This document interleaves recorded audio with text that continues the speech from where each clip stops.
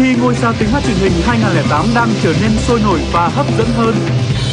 Các đêm thi tiếp theo của vòng chung kết sẽ tiếp tục mang đến những giây phút thưởng thức âm nhạc tuyệt vời cho quý khán giả qua những phần thi ấn tượng và đầy tính chuyên nghiệp của các thí sinh.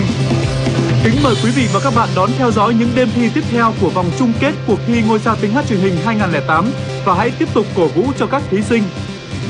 Chương trình được truyền hình trực tiếp trên kênh HTV9 vào lúc 20 giờ 30 phút các ngày 2, 4, 6 và 9 tháng 10 năm 2008.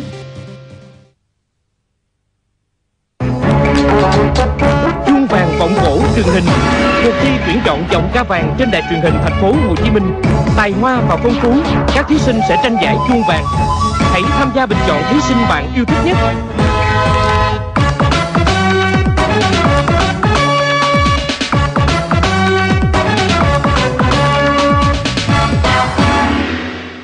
Cuộc thi chung vào giọng cổ 2008 do Đài truyền hình Thành phố Hồ Chí Minh tổ chức đang bước vào những vòng thi tiếp theo.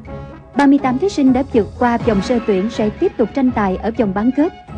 Những thí sinh nào sẽ tỏa sáng ở vòng thi này và bước tiếp vào vòng chung kết?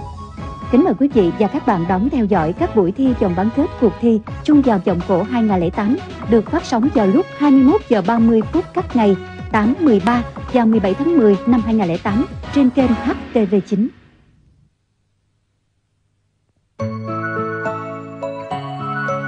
Có ánh mắt mang yêu thương của mẹ.